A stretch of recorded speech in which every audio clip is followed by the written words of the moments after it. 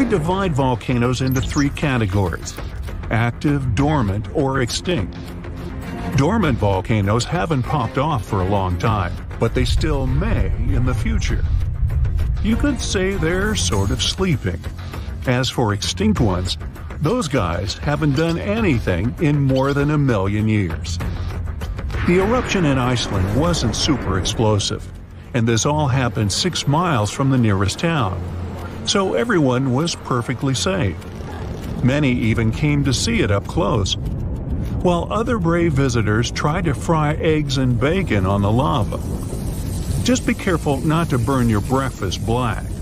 Lava can be over 2,000 degrees Fahrenheit. It burns everything in its path. Yet it also produces some of the most fertile land for agriculture.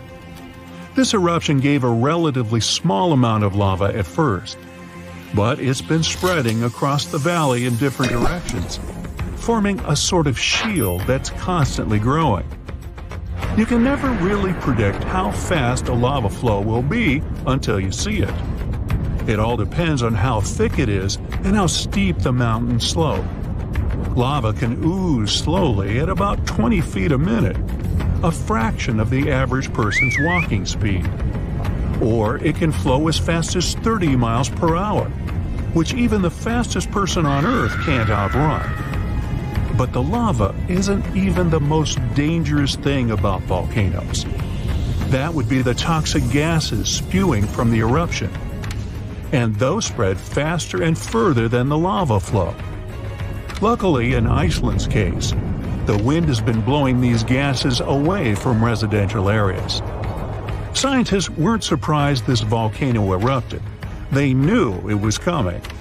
Increasingly stronger earthquakes had been shaking this area for the past 15 months.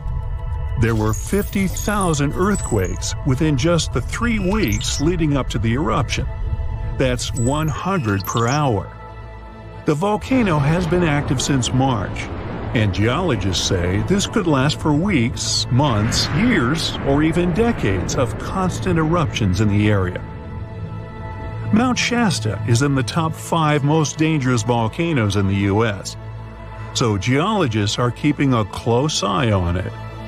The last eruption was in 1250. I wasn't around then, but this volcano erupts every 600 to 800 years. Which means tick tock, we're due any day now. About an hour from Portland, Oregon, there's an active volcano that last erupted in the 19th century.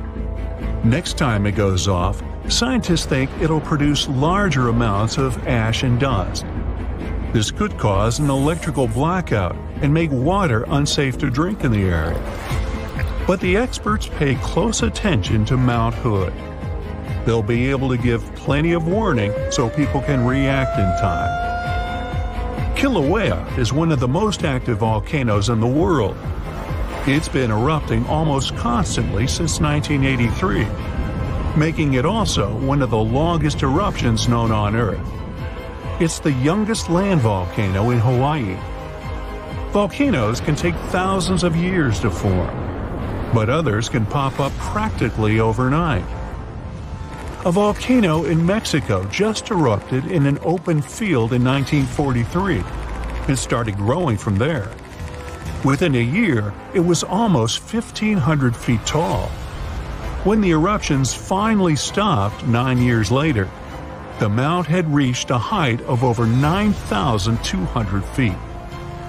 Mount Fuji is an iconic symbol of Japan. The last time it erupted was in 1707, and it sent a shower of burning rocks as far as 60 miles away. If a similar eruption happened today, Tokyo would be within that vicinity. Mount Fuji is right on the Ring of Fire, that horseshoe-shaped region in the Pacific Ocean full of active volcanoes and earthquakes.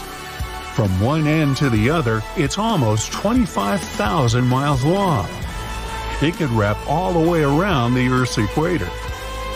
In January 2020, Taal volcano in the Philippines started spewing lava sending huge plumes of ash half a mile up into the sky.